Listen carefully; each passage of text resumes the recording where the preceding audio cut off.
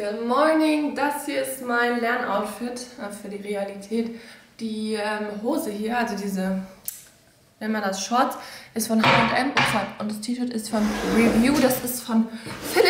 Ähm, das habe ich mir heute einfach mal ausgeliehen. Genau, und damit herzlich willkommen zu einem neuen Video auf meinem Kanal. Schön, dass ihr wieder hier seid. Heute gibt es eine reine Study with me. Ich fange mit euch heute ein neues Deutschheft an. Ich persönlich habe von diesem Titel noch nie irgendwas gehört. Argumentationslehre heißt das. Ich muss das noch machen. Ich mache viele Dinge immer durcheinander. Also ich gehe nicht nach der ILS-Reihenfolge, sondern nach der, wie es mir gerade passt. Naja, auf jeden Fall fangen wir damit heute mal an. Ich nehme euch dabei mit. Ich habe das 2020 mal gemacht. Es kam richtig gut an und viele wollten es öfter sehen. Aber irgendwie habe ich es nie wieder gemacht, sondern ich habe euch immer nur Brocken hingeworfen und das in einen Vlog integriert und das soll heute nicht sein. Wir haben jetzt 29, also hier, 29. Normalerweise, ich richte mich dann mal so nach dem, wann ich in der Bib anfange, fange ich in der Bibliothek auch erst um 10 an und lerne meistens so bis um 5. Das sind sieben Stunden. Ähm, natürlich mache ich dann auch noch Mittagspause von ungefähr 20 bis 30 Minuten und zwischenzeitlich dreimal Trinkpause, so fünf Minuten, vielleicht zwei bis dreimal Trinkpause. Und das war es eigentlich auch schon. Also ein Vollzeit-Lerntag quasi. Falls ihr mich noch nicht kennt und nicht versteht, was ich hier mache, ich mache mein Abi bei ILS nach, also extern, online. Und das auch jetzt seit 2020 schon. Und ja, nehme euch hier so ein bisschen auf meinem Weg mit. Aber ich habe schon lange nicht mehr wirklich krass darüber erzählt, deswegen wollte ich das heute einfach mal wieder machen. Und ich will auch nochmal dazu sagen, egal wie alt ihr seid, egal was andere Leute sagen. Wenn ihr euer Abitur nachholen wollt oder wenn ihr nochmal studieren wollt oder wenn es irgendwas da draußen gibt, was ihr unbedingt noch machen wollt, dann macht es. Ich weiß, wie unfassbar beängstigend es sein kann, wenn Leute anfangen zu sagen, du bist zu alt und das ist lächerlich und dann überlegt man so und denkt sich, ist man wirklich zu alt? Ist es wirklich alles so, wie Leute sagen und ähm, sollte ich das jetzt vielleicht doch nicht machen und ist das total blöd? Am Ende zählt einfach nur, dass ihr glücklich seid und dass ihr das gemacht habt, was euch erfüllt. Und ich habe einfach 2020 beschlossen, dass ich ein Abitur nachholen möchte. Man bekommt dann nämlich auch oft die Sprüche an den Kopf geknallt, dass man zu dumm ist und dass man äh, das auf dem dritten Anlauf jetzt nicht mal schaffen würde. Aber da müsst ihr drüber stehen. Lasst die Leute einfach reden. Glaubt mir, es ist... Ich weiß nicht, was manche Leute da geritten haben. Aber egal. So. Wir machen jetzt, oder wir fangen jetzt mal zusammen an. Das erste, was ich mache, ist meine Forest-App anzumachen. Ich zeige euch das mal anders. Das ist diese hier. Die habe ich euch schon sehr, sehr oft gezeigt. Die kostet für Apple, glaube ich, einmalig Geld. Für Android weiß ich es nicht. Und ihr könnt hier, um die euch mal zu erklären, Bäume pflanzen. Also das motiviert mich zumindest immer, keine Ahnung warum. Und dann könnt ihr euch zum Beispiel so einen kleinen Wald aufbauen. Meine, meine Monatsübersicht sieht ziemlich leer aus, muss ich ehrlich sagen. Ich habe die App teilweise sehr, sehr oft vergessen. Ähm, genau. Aber ihr könnt euch dann immer angucken, wie viele Bäume ihr schon gepflanzt habt. Was ich richtig cool finde, ihr könnt hier tatsächlich auch echte Bäume pflanzen. Ich habe auch einen schon gepflanzt hier. Da braucht ihr halt 2500 Münzen und die könnt ihr sammeln, indem ihr eben diese, diese Bäume hier pflanzt. Dafür bekommt ihr immer Münzen. Genau. Ich mache für die erste Lernsession 60 Minuten, das ist eine Stunde und dann mache ich eine kleine Pause. Und bevor ich das starte, erkläre ich euch noch kurz was. In Deutsch ist es super wichtig, dass ihr die Inhaltsverzeichnisse und den Lerninhalt oder diese Lernziele lest. Das gibt es in jedem ILS-Heft. Es ist sowas von wichtig, weil man da genau die ganzen Informationen raussuchen kann, wie ich muss Bücher kaufen, ich muss das und das machen, ich muss mich auf das und das vorbereiten, das und das kommt dran, das sind die Ziele in diesem Heft.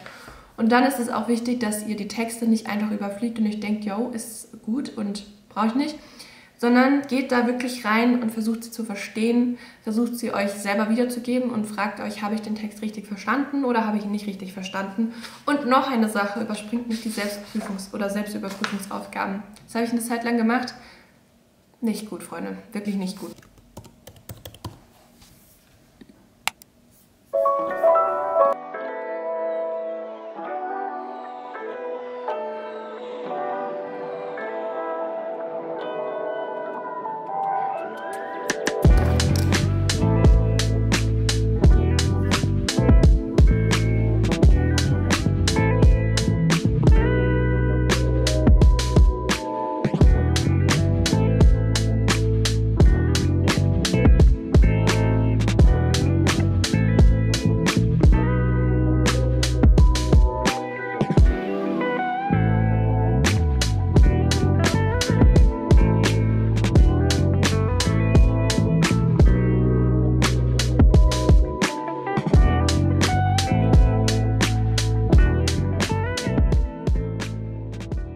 Haben jetzt 45 Minuten später. Ich habe jetzt erstmal die Selbstüberprüfungsaufgabe gemacht. Die lief so hm, okay. Jetzt habe ich auch noch was ausgeschrieben zum Thema Erörterungen, weil es eben aufeinander aufbaut, so wie das in dem Text geschrieben wurde.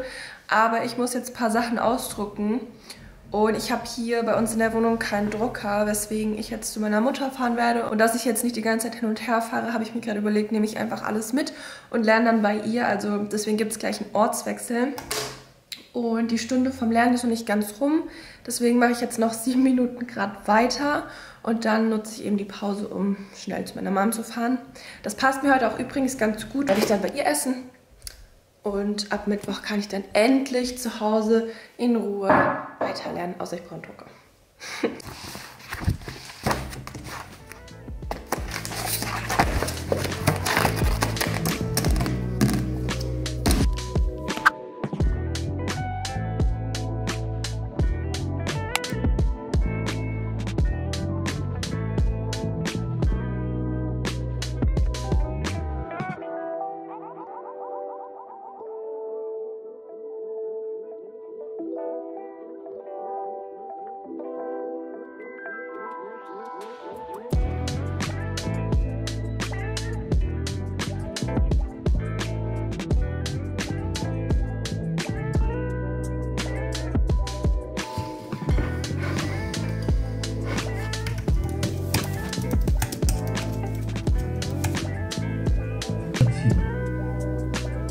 Fragestellung musst du mit Begründung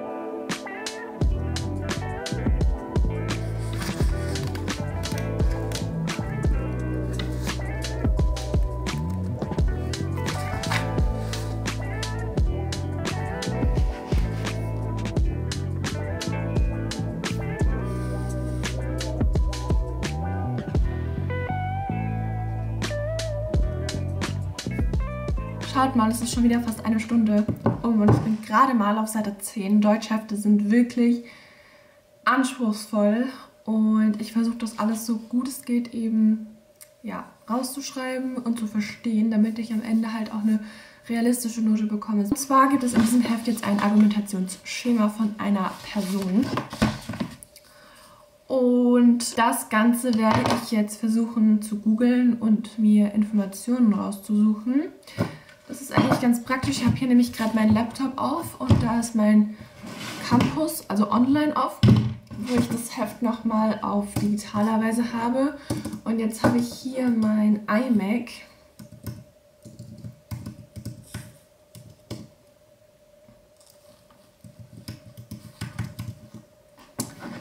wo ich eben genau das jetzt googeln kann. Und ich schaue tatsächlich meistens Videos dazu. Verknüpfung verbunden. Eine die Konklusion gemäß der Schlussregel gezogen. Das ist alles sehr abstrakt. Mal ein ganz kurzes Beispiel. Alle Hunde fressen Fleisch. Denken Sie dran, wenn ich das übersetze in so eine logisch präzise. Oh, sowas liebe ich. Sowas, oh mein Gott, ich verstehe das teilweise überhaupt nicht, weil es einfach so verzwickt geschrieben ist und er erklärt es einfach so einem einfachen Beispiel. Eine Stunde ist rum. Jetzt haben wir so einen Busch gepflanzt oder Baum, wie man es nennen will. Zeige ich euch mal, wie es gerade aussieht. So sieht es heute aus. Pflanzen wir. Machen wir heute mal. Nehmen wir. Nehmen wir das hier. Genau.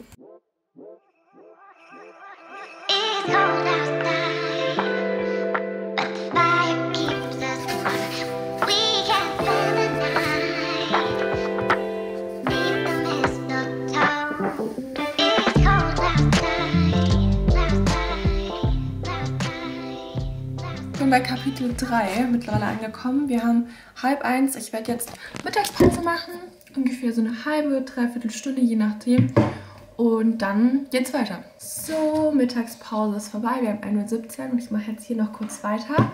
Und dann fahre ich zurück in unsere Wohnung. Aber auf dem Rückweg hole ich noch schnell einen Tortenboden beim Bäcker, weil wir nochmal Erdbeerkuchen machen wollen. Wir hatten ja gestern, ich weiß gar nicht, ob ich das erzählt habe, wir waren Erdbeer pflücken.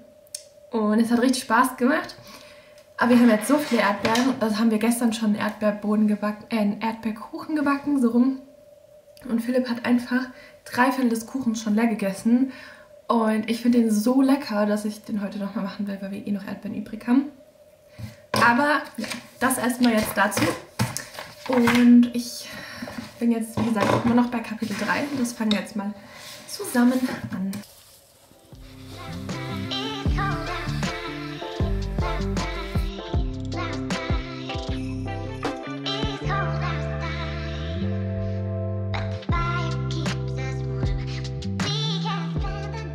Weitere 25 Minuten sind um. Es ist jetzt kurz nach zwei. Es ist noch ein Paket angekommen, das wollte ich mit euch einmal öffnen. Aus der großen eine kleine. Schaut mal, was angekommen ist. Ich habe nochmal Gläser bestellt. Die sind unten so ein bisschen breiter als oben und halt so richtig dünn. Ich finde, das ist eigentlich ganz schön. Und jetzt, wo wir die Küche bekommen, kann ich die dann auch alle demnächst einräumen.